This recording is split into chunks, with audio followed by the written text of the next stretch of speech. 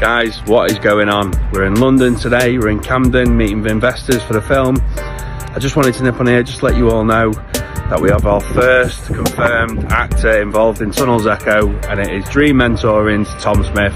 Tom will be playing one of the lead roles as a detective. Yes, Tom will be a detective.